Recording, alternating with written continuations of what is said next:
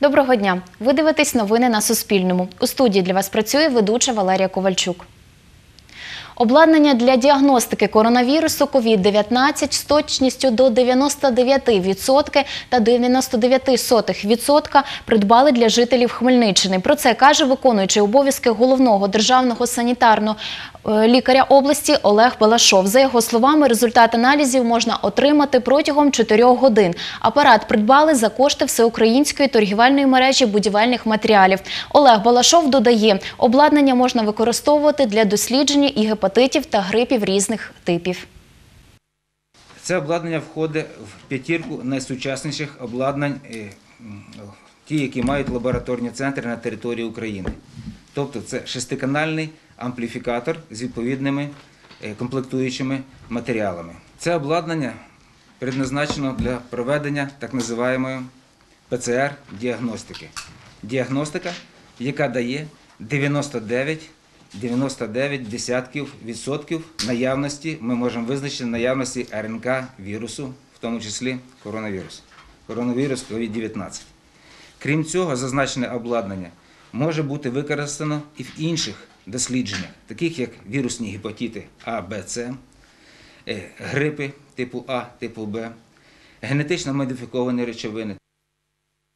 У відділеннях Хмельницької інфекційної лікарні у неділю госпіталізували чоловіка з підозрою на коронавірусну інфекцію. Про це Суспільному розповів мер Нетішина Олександр Супрунюк. За його словами, 40-річний чоловік під ранок приїхав з Будапешта, зв'язався телефоном із сімейним лікарем і сказав, що хворий. Його ізолювали в спеціальний бокс інфекційного відділення. Пацієнт має всі ознаки коронавірусної інфекції – задишку, високу температуру та сухий кашель. Також у Хмельницькій обласній державній адміністрації інформують, що ще двоє осіб з підозрою на коронавірусну інфекцію знаходяться на самоізоляції. Наразі на Хмельниччині чотири особи з підозрою на COVID-19. Нагадаємо, що з 20 березня в інфекційній лікарні Хмельницького перебуває 20 26-річний чоловік з підозрою на коронавірусну інфекцію. Результати дослідження на інфекцію поки що невідомі. Загалом в Україні станом на 10 годину ранку 23 березня зафіксовано 73 випадки COVID-19.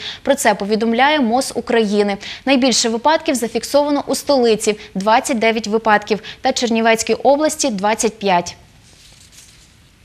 Дезінфекцію дитячих майданчиків у дворах багатоповерхівок Хмельницького проводити не планують, каже начальник управління житлово-комунального господарства Хмельницької міської ради Василь Новачок. За його словами, двірники, які обробляють дезінфікуючими засоби під'їзди житлових будинків, фізично не в змозі цього зробити. Дезінфікувати е, майданчики на прибудинкових територіях наразі ну просто немає е, можливості, немає людей. Дезінфекцію роблять е, в парках, скверах в Чекмана, в Шевченка.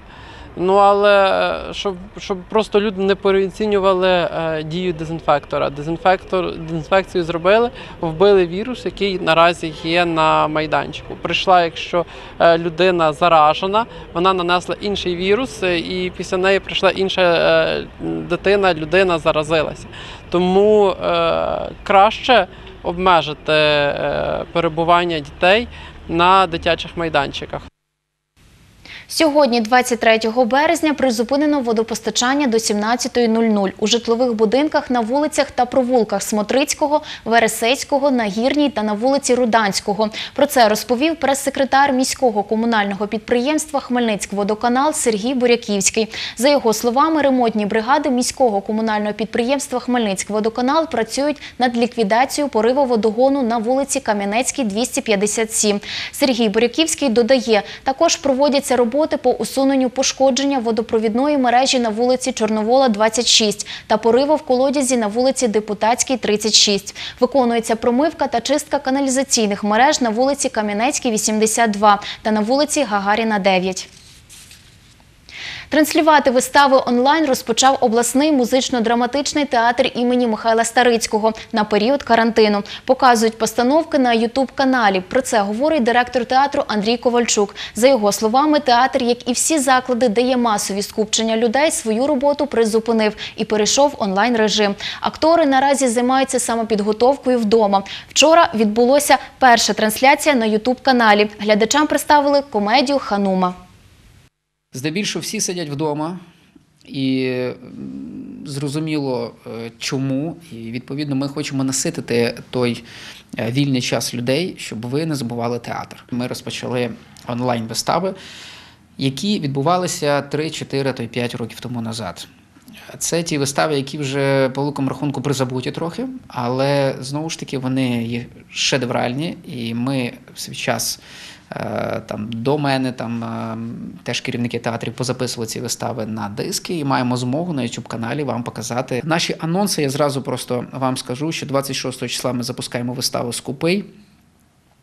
29 числа ми запускаємо виставу Республіка на колесах. І 31 березня виставу не такий, як усі. Наразі це усі новини на Суспільному. Зустрінемось о 17.00.